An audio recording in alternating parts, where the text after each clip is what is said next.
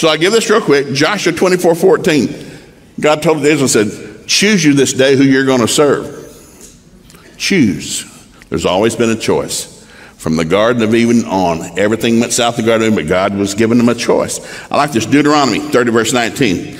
God, I give you a choice between death and life, blessing and cursing. Now call heaven and earth to witness to choose. Said, Oh, that you would choose life so that you and your descendants might live. God said, I want you to choose. I'm going to give you some choices life, death, blessing, cursing. Can you make a choice? Well, God, give me a few days to pray about it. I'm not real sure which one I want. Life, death. Mm, mm, mm. Blessing, cursing. Mm. I need to consult some people. Well, God gave them, hey, stupid, choose life. Yes, Lord. Thank you for the answer. Oh, that just entertains me. Philippians 4 8, I just quoted, he said this.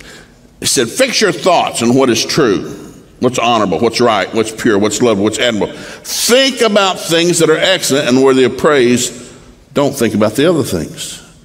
Then this is Proverbs 4.23. It said, guard your heart with all diligence, for out of it the issues of life. The quality of your life and my life is based on one thing, what we feed on. Now today we got media. You know, 100 years ago, media wasn't that big a deal. You know, I, I remember I was five years old before we got a television set, and it was a big black box, had three channels. Three. And it went off at 11 o'clock at night. Ooh. Now we got so many we can't count all of them. Hell's pulling on you all the time.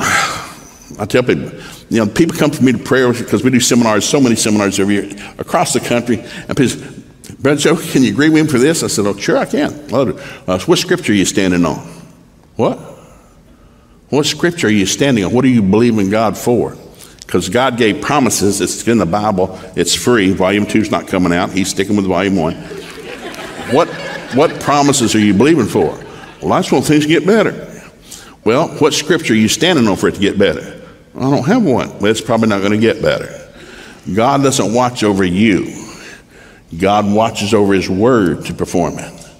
The Bible says, let the redeemed of the Lord say so. Let the weak say I'm strong.